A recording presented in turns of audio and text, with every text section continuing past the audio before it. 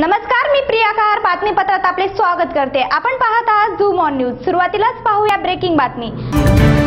भेसळ करून ग्राहकांच्या जीवाशी खेळणाऱ्यांची खैर नाही कारण दूध भेसळ आणि अन्न भेसळ करणाऱ्यांना आता जन्मठेपेची शिक्षेची तरतूद करण्यात येणार आहे. याच अधिवेशनात याबाबतचा कायदा करण्याची घोषणा अन्न आणि नागरिक पुरवठा मंत्री गिरीश बापट यांनी विधान परिषदेमध्ये केली आहे. दूध आणि अन्न पदार्थामध्ये भेसळ करणाऱ्यांपुढे जामीन पात्र गुन्हा ठरणार आहे.